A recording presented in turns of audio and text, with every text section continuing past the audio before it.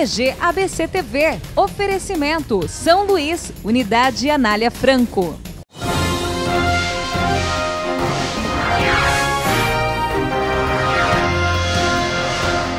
O governador Geraldo Alckmin esteve em empresa no bairro Sertãozinho, em Mauá, para a incineração de uma tonelada de drogas. O material é fruto de apreensões feitas pelo DENARC. No total, foram destruídos 215 quilos de cocaína, 745 quilos de maconha e 50 litros de substâncias como éter e lança-perfume. Foram gastos mais de 18 mil reais no processo. A polícia tem trabalhado com absoluto empenho na questão do, do combate ao tráfico de drogas. Nós estamos, de um lado, tratando o dependente químico.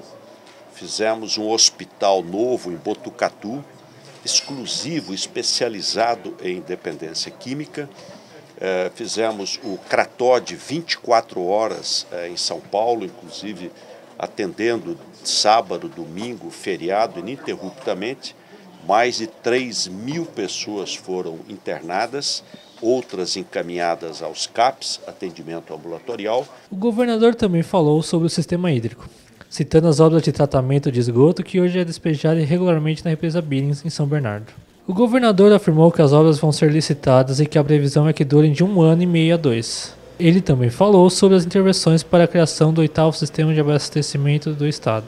Vamos buscar água lá no Rio São Lourenço, em Juquitiba, 83 quilômetros de distância, sobe uma torre Eiffel, 300 metros de altitude, a Serra de Paranapiacaba, e chega em São Paulo.